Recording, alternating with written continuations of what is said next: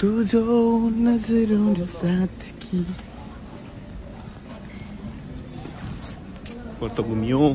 अब फर्किनु पर्छ हिँड्दै हिँड्दै। पुरै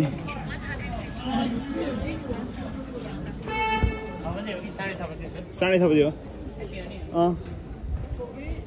गाइस हिँड्दै हिँड्दै जा। हिँड्दै हिँड्दै जा म मजा आउँछ कि? सो हिँड्दै हिँड्दै गइन्छ ल इन्टरनेट एउटा किनौँ न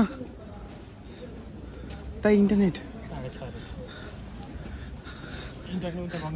ल एउटा इन्टरनेट किनौँ त्यसपछि गाडीमा बोर हुँदैन गाइज मलाई किनभने ब्याक हुनुपर्छ भोलि फुल्ली रेस्ट हो त्यस पर्सिदेखि फेरि गधा धुलान हो अस्ति शनिबार मलाई बोलाएको थियो नि त्यो दिन त एक सय पैँतिसजना आएछ गेस्ट ए धुवा निक्ल्यो भन्थ्यो मलाई तिमीलाई फेरि पछि पर्दैन भनिहालेँ त्यही पनि। तर पछि त धुवै निक्लिएको थियो नि भन्छ। ठिकै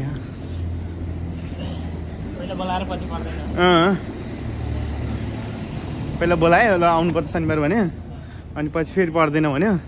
भनेर क्यान्सल गऱ्यो भने अन्तिम एक सय बेलुकै एक सय छत्तिस एक सय छत्तिस आयो अरे अनि।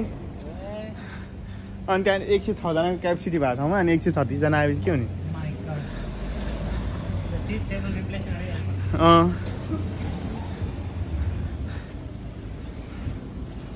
सो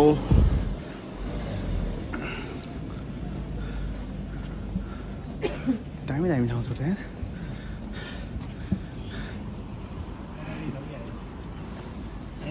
यहाँ हो।